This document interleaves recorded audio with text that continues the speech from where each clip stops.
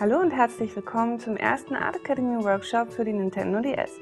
Mein Name ist Anne Petzke, ich bin Illustratorin bei Tokyopop und ich werde euch in fünf Videos zeigen, wie eine komplette Illustration entsteht.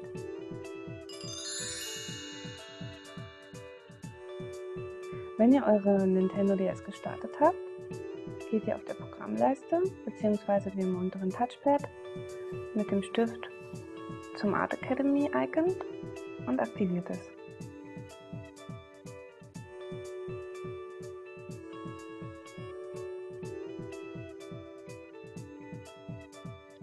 Es erscheinen zwei Programmpunkte. Das ist auf der linken Seite die Lektion und auf der rechten Seite das freie Zeichnen. Wir wählen in dem Fall das freie Zeichnen und starten ein neues Bild.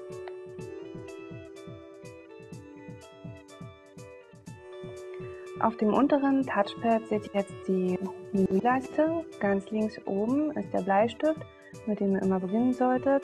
Daneben ist die Farbpalette, wobei da wichtig ist, immer im Hinterkopf zu behalten, dass ihr die Farbpalette erst dann anwählen solltet, wenn ihr mit dem Skizzieren fertig seid. Ansonsten kommt ihr nicht zurück zur Bleistiftfunktion. Daneben befindet sich die Lupe.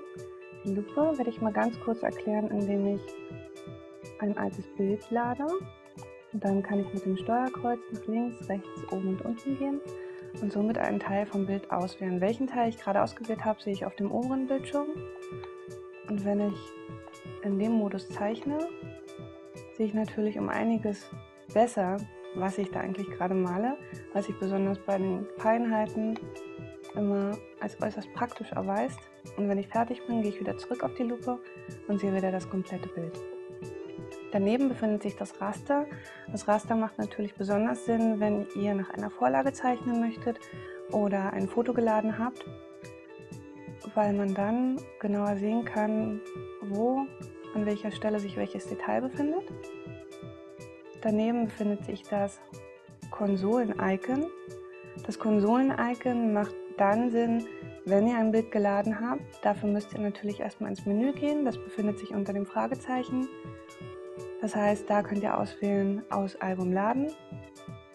Dann ladet ihr ein Bild, was ihr in eurer Kameradatei habt, beziehungsweise in eurem Kameraalbum.